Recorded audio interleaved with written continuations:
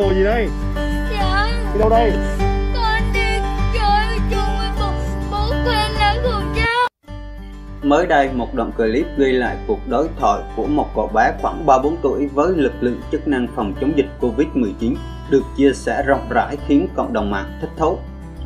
Đó là clip ông bố không đeo khẩu trang gặp công an liền bỏ chạy. Cậu con trai ở lại năn nỉ. Con lại cháu, đừng bắt bố đây được không ạ? Nhân vật chính trong đoạn clip là một cậu bé trai đang đội mũ màu đen, đeo khẩu trang đứng một mình ở con hẻm. Khi lực lượng chức năng thấy cậu bé đứng một mình liền tiến tới hỏi, đi đâu đây? Cậu bé méo máu trả lời, dạ, con đi với bố nhưng bố quên đi khẩu trang. Khi người cán bộ tiếp tục hỏi, bố con đi đâu rồi? Thì cậu bé ngay lập tức trả lời, chú đừng có bắt bố được không ạ?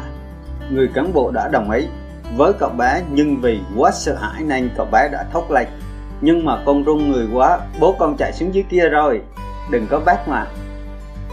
Con lại chốt. Cùng với đó, cậu bé ngồi xuống chắp tay lại cán bộ cùng đội phòng chống dịch.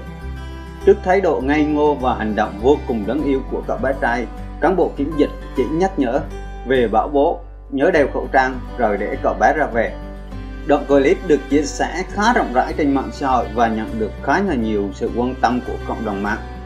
Anh T chia sẻ, đã được đứa con trai đáng đồng tiền bất ngộ, hành động vừa đáng yêu vừa dễ thương.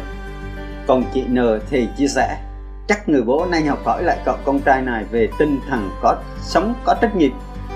Dù bố đã bỏ chạy nhưng cậu con trai ở lại còn năng nảy bảo vệ bố đến cùng. Một số bình luận cộng đồng mạng chia sẻ. Mọi người thấy video hay thì ủng hộ cho mình với nhé. Vì mùa dịch không có đi đâu được nên là mình chia sẻ những cái thông tin bổ ích về nhà đất và những cái thông tin mới mẻ về dịch bệnh cũng như là các cái hình ảnh đáng yêu của cộng đồng mạng.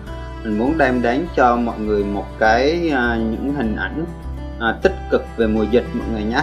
Cảm ơn mọi người rất là nhiều. Ai chưa đăng ký kênh thì đăng ký kênh ủng hộ cho mình với nhé.